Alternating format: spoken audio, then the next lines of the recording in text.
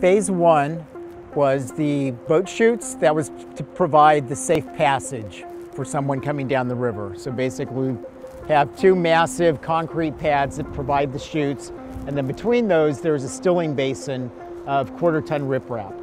So that was the recreational aspect of it. We also did all of just the beautiful uh, grouted stonework, uh, terracing, the stairs, um, added another boat ramp.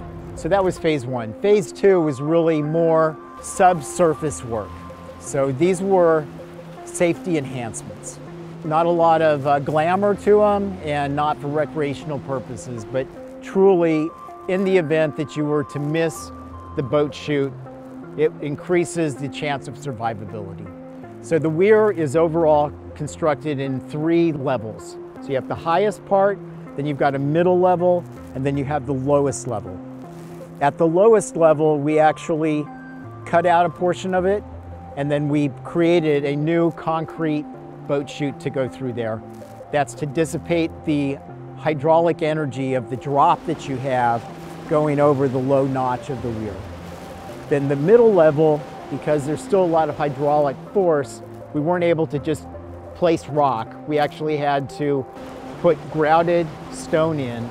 And again, the intent of that is to dissipate the hydraulic energy to basically step it down so that you don't have this water, this tremendous amount of energy basically just spilling over the top. Of, think of it as like a, over a table.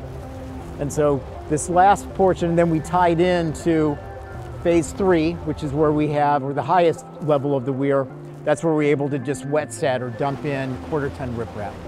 Again, to dissipate that hydraulic energy.